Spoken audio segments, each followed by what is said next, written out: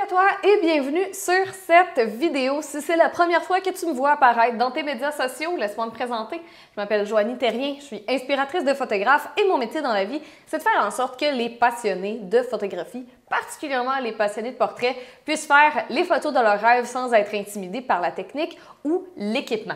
Aujourd'hui, j'ai une super belle vidéo pour toi parce qu'aujourd'hui, on va parler des problèmes techniques les plus fréquents dans Photoshop. Parce que peut-être que ça, arrive, ça t'arrive de temps en temps de faire de la retouche dans Photoshop pour finalement te rendre compte que tu as énormément de messages d'erreur qui apparaissent, les outils ne fonctionnent pas comme tu veux et euh, tu passes le plus clair de ton temps de dire mais pourquoi est-ce que ça fonctionne fonctionne pas. Donc, dans cette vidéo, on va regarder justement les raisons principales pour lesquelles des fois euh, nos outils ne fonctionnent pas comme prévu et quoi faire en cas d'erreur du logiciel. Alors, on va tout de suite se rendre dans Photoshop pour que je puisse te faire une petite démonstration.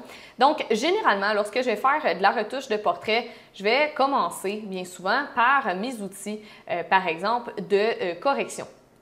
Et euh, là, des fois, ça va arriver, par exemple, lorsque tu utilises un outil de correction pour enlever euh, un petit bouton, que ça ne retouche pas. Pourquoi? Alors, ici, je suis sur un calque vide et euh, dans mon onglet en haut, je n'ai pas échantillonné tous les calques.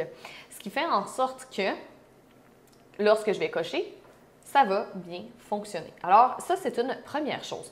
Une autre chose qui peut arriver aussi, c'est si j'essaie de faire comme ça, et là, il va y avoir un message d'erreur qui apparaît.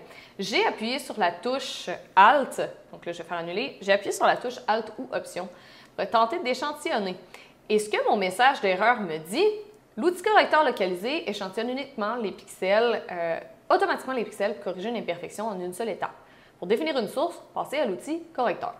En bon français, ça veut dire que j'ai tenté d'échantillonner, mais ça ne fonctionnait pas parce que je ne suis pas dans le bon outil.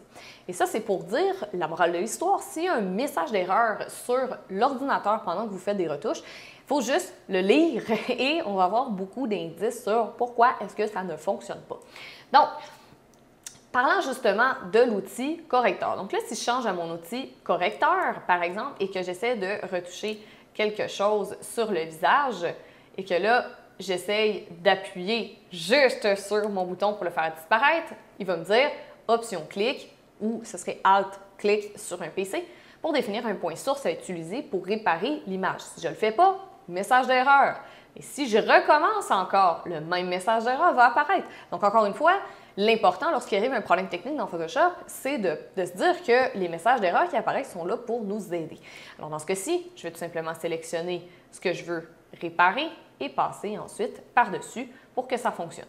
Encore là, toujours bien important de vérifier qu'on a bel et bien les bons paramètres dans la barre d'outils en haut. Donc, l'erreur la plus fréquente que je vois, c'est beaucoup une erreur d'échantillonnage. Par exemple, si j'essaie encore une fois de retoucher les petits boutons ici, ça va rien faire parce que le calque sur lequel je me trouve n'est tout simplement pas euh, rempli de pixels. Donc, j'échantillonne rien pour placer sur du rien. Ça ne fonctionne pas, donc il faut toujours s'assurer d'avoir les bons calques d'activer.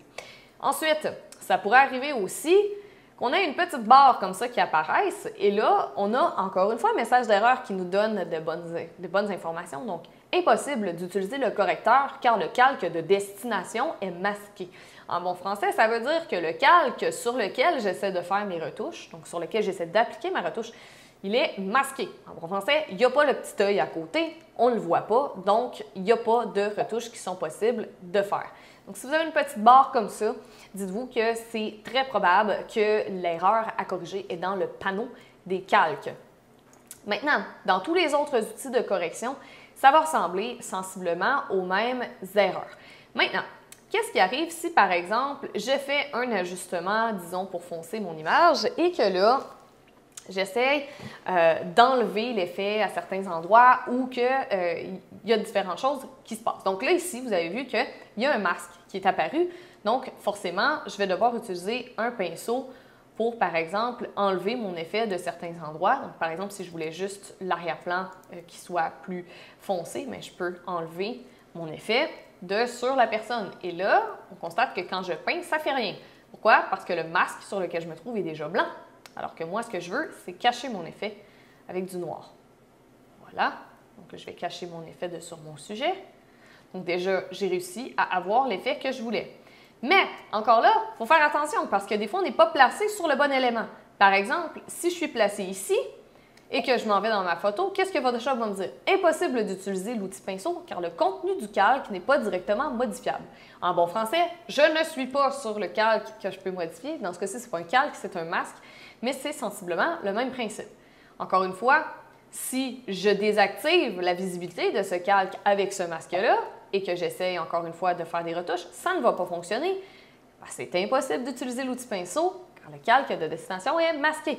Donc, la morale de l'histoire, c'est que la majorité du temps, lorsqu'on a des erreurs comme ça qui vont se produire dans Photoshop, les sources d'erreurs les plus fréquentes sont vraiment soit je n'ai pas choisi le bon outil dans ma barre d'outils, donc naturellement ça ne va pas faire ce que je voulais parce que j'ai choisi un outil qui est similaire à celui que je voulais mais qui n'est pas celui que je voulais. Donc j'ai donné quelques exemples avec le correcteur et le correcteur localisé, entre autres, qui ne fonctionnent pas de la même façon. On pourrait aussi euh, avoir des problèmes par rapport aux différents euh, paramètres qu'on a mis dans la barre d'outils du haut de l'écran. Donc, je vous ai montré l'erreur la plus fréquente qui est de ne pas échantillonner correctement, mais ça aurait pu être aussi un problème parce que euh, le mode de mon outil n'est pas bon ou parce que le flux et l'opacité de l'outil ne sont pas bons. Et finalement, les erreurs fréquentes aussi au niveau du panneau des calques. Donc, on n'est pas positionné correctement dans notre panneau des calques, soit que notre calque sur lequel on veut euh, faire des modifications n'est pas visible, soit on n'a pas sélectionné une partie qui est modifiable et plein de choses ça. Donc, tout ça pour dire que ce sont toutes des erreurs extrêmement fréquentes. Pourquoi je les connais autant par cœur? Parce qu'elles me sont arrivées plein, plein de fois. La morale de l'histoire, c'est quand une erreur se passe, qu'il y a un message d'erreur qui apparaît sur l'écran, Stop! On arrête tout, on ne ferme pas systématiquement le message pour recommencer mille fois la même action qui ne fonctionne pas.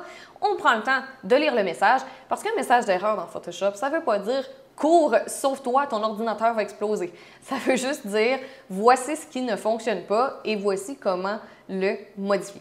Alors j'espère sincèrement que cette vidéo vous a aidé à régler les problèmes les plus fréquents lorsqu'on fait de la retouche de portrait dans Photoshop et si vous aimez ces vidéos de quick tips sur la photo, la retouche, l'éclairage, les poses, etc., suivez mes médias sociaux et ma chaîne YouTube.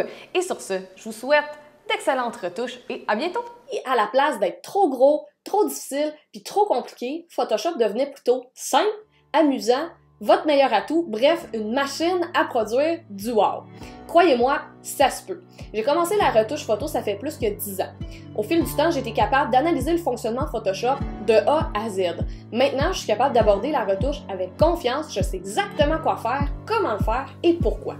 vous pouvez, vous aussi, dès maintenant, avec ma nouvelle formation, les essentiels de Photoshop. C'est une méthode simple et étape par étape pour vous permettre de découvrir les secrets de Photoshop, qui est le logiciel de retouche le plus puissant du monde. Et ça, c'est sans frustration, sans perte de temps et sans casse-tête.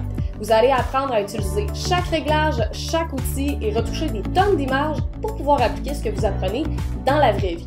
Avec plus que 35 vidéos tutoriels, vous allez vraiment rentrer dans ma tête de retoucheuse pour être capable de comprendre Photoshop comme les pros. Donc si vous êtes prêt à devenir un pro de Photoshop, vous aussi, ben, regardez en dessous de la vidéo pour en savoir plus.